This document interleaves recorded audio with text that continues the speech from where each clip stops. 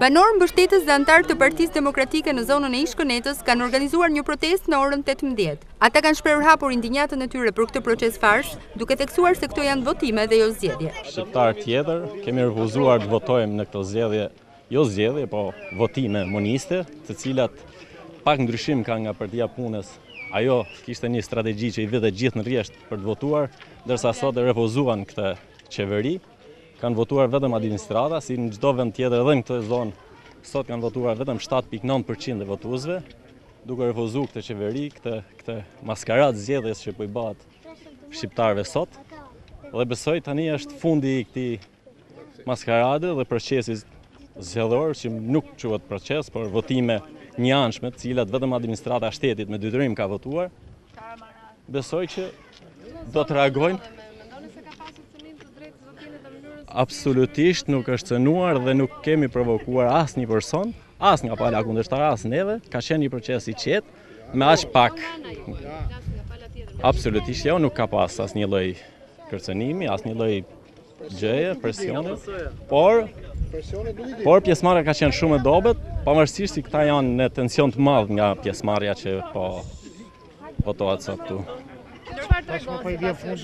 Kjo tregon që fundi i kësaj marrëzie do marrë fund me një korrik e mbrapa, nuk, nuk është më qeveri, siç s'ka qenë as këto ditë, por tashi ka marrë ndëshkimin e merituar nga qytetarët shqiptarë. Ndërkohë ju keni ndjekur të gjithë procesin sot, ka pasur problematika? Në dukje problematika jo, po duke e parë që po refuzohet e po abandonohet kjo farsë, Ne na lind e drejta të pyesim, pse kjo marrëzi? Pse gjithë ky popull u bë gjithë kjo maskaradë, gjithë gjithë ky harxhim energjie për këtë? Cili është mesazhi që përcillni ju me anën e kësaj proteste? Ne po qëndrojmë këtu si përfaqësues të opozitës, jo për të cënuar procesin, se procesin e ndërtoi qeveria sipas mënyrës vet. Ne po qëndrojmë këtu për të treguar që ne jemi përballë.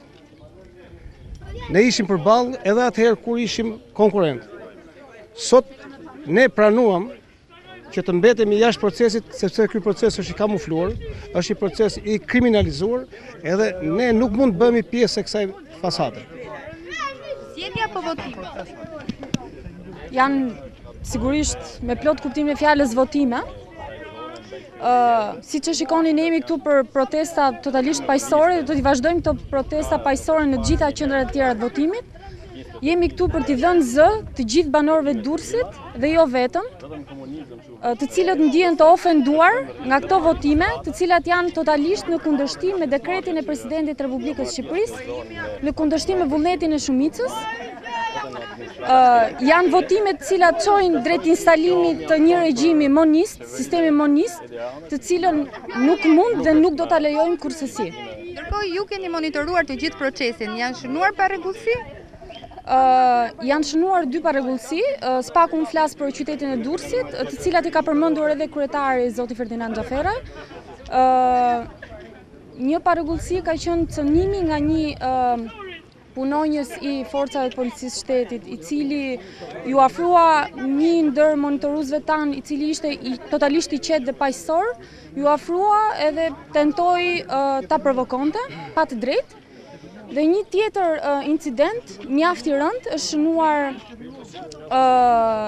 në një ndër rrethinat e qytetit, ku është dhunuar tërësisht me pa të drejtë një i mitur, Në mënyrë çnjerëzore nga një ndër administratorët ose më saktë funksionarët e shtetit, totalisht e patolerueshme, gjë të cilën ne e kemi denoncuar që në momentin e parë. Tashi mesazhi jonë është i qartë, është i dukshëm sepse në radhë të parë jemi shumë objektivë në gjykimin tonë edhe në analizën e situatës apo të gjendjes. Në radhë të parë kuptohet që këto janë votime monopartiake të zhveshura nga çdo lloj parimi demokratik. Domethënë është një rikthim 30 vjet mbrapa në kohë, domethënë të udhëtosh në kohë, në kah të kundërt, domethënë me 30 vite, domethënë është një humbje e madhe shumë kohe. Pra ne kërkojmë që të korrigjojmë diçka, qoftë hapësirën kohore, qoftë si element parimor, si elementet e demokracisë, si një gjykim si një parim ku çdo njeri është një individ, është një qenie e ndërgjegjshme, e përgjegjshme për atë që bën, pra gjithmonë për të vënë një gur themeltar pikërisht në muret e demokracisë. Kjo është e para. E dyta, shikojmë edhe një realitet që është i mbytur, mund të themi në një pellg të rëndë apo një pellg kaotik, ku një administratë e tërë vihet përpara, sikur të jenë me të vërtetë një tufë, apo një kope, o do votoni, ose ditën e hënë do na tregoni gishtat.